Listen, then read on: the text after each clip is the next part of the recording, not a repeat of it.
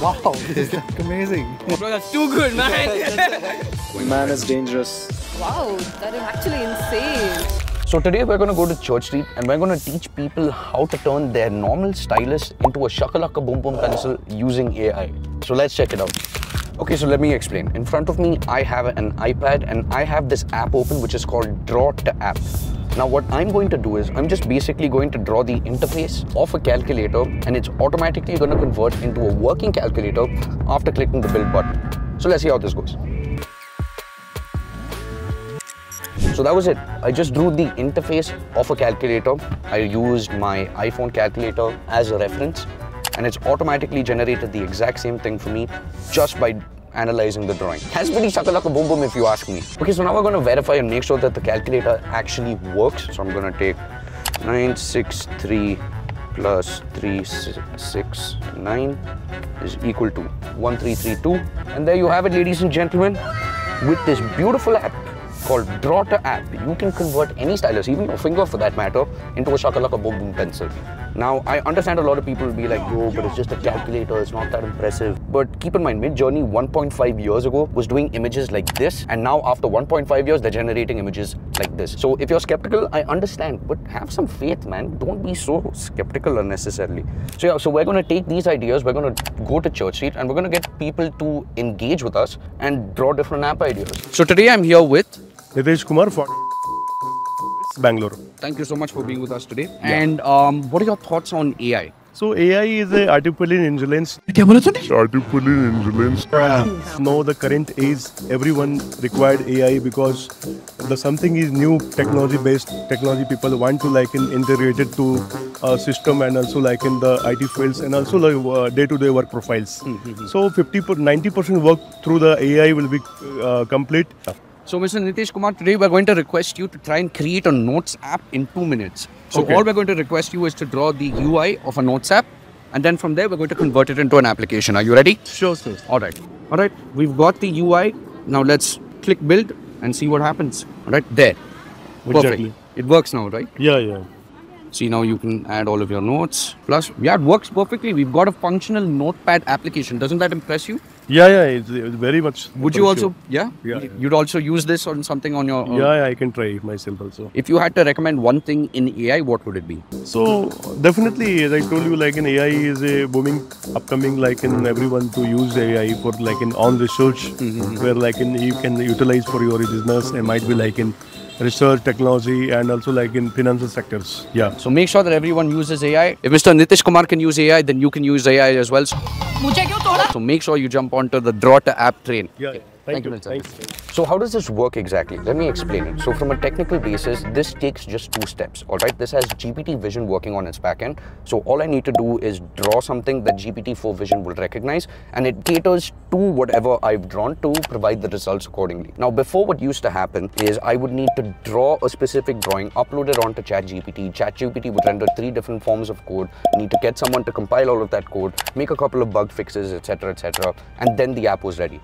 Yeah, so stay till the end of this video to see if someone else gives us a million dollar app idea that we can steal and make some money off of.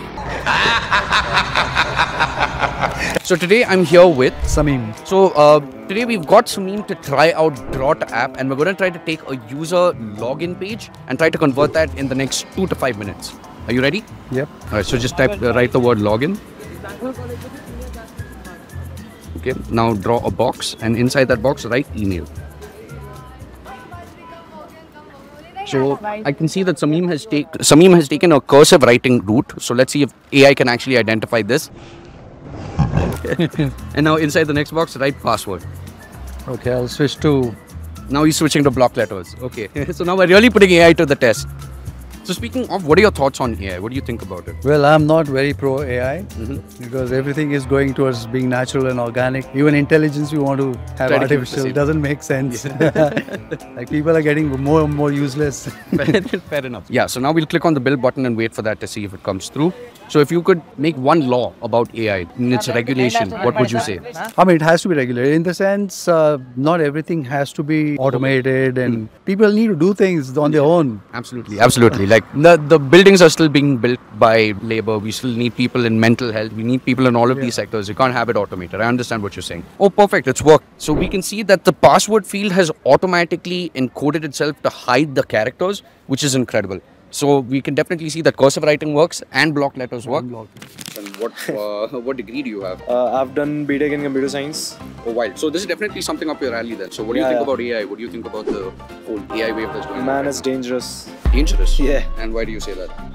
I mean, uh, you've been currently looking at the things trending like the deepfake and shit, right? Mm-hmm, mm-hmm. So, I mean, it can basically what AI is capable of. It's basically it can even imitate your voice, Absolutely. and it can like either use your voice to like send uh, an SMS to your like parents that you're in tr- trouble and you need like money. Hmm, So anyone can use that against you. that's fair. That's what the power of AI has. Yes, man. It's Yeah.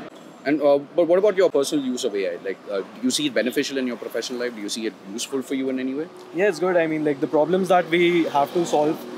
At the same time, it's gonna make us lazy as well. Yeah. So, like uh, the problems we can solve in the daily life, uh, such as mathematical and statistical problems, Mm-hmm. we can use ChatGPT and stuff. We can get the ChatGPT to write a code for us. Yeah. It's good that way, but everything has pros and cons. I think we're almost done with this. Yeah, almost. Just a couple of symbols to allocate, Yeah. and now we press. So, Build right. just press build. Uh, Let's see this. And now we hope for the best. If the calculator doesn't work, then it just means that AI is being lazy today. They don't want to do any calculations. Or maybe just AI heard us bitching about it. Yeah, probably. do you think that your phone's listening to you at all times? Sorry. Do you think your phone's listening to you at all times? I mean, it might be because like the other day I was talking about that I bought I want new shoes, Mm-hmm. and the next moment I open my phone, I see an ad popping of shoes. So Doesn't I, it suck that it doesn't work with like Margot Yeah. Robbie? You see Margot Robbie, she doesn't appear, magically appear in front of you. sorry. Like it's the same thing. If you wanted it from Margot Robbie, it's Yeah, yeah, yeah. unfortunate. Ah, it's worked. Oh yeah, Successfully. okay. Okay, we've got Even though it's a little bit uh, distorted, but Yeah. it's good. Yeah, mad. yeah. Okay. All right, let's do. Okay, Uh, so- what what sum do you wanna do? Let's do one, two, three plus three, two, one. All right. One, two, three. Okay, one, three, One, one, three, two plus three, two, one. We'll Yeah, do that. 453. Alright. Perfect. Yeah. What are your thoughts on this? The fact that you just had to draw a calculator and now it's working in front of you. Uh, the thoughts that I have is like the same thing you said. It, I wish it worked on Margaret Robbie as well. Perfect, perfect. yeah, yeah. Thank you so much for your time, Salkar. So there you have it, ladies and gentlemen. That is what Bangalore had to do with AI today. And if you want to try this out yourself, I'm leaving the link in the description below. So make sure that you try it out. And if you want to try it out, you're going to need an OpenAI API key. So that's all you need to do. Just copy paste that and the rest is good to go. And for more AI and no code content, make sure you subscribe to Builder Central.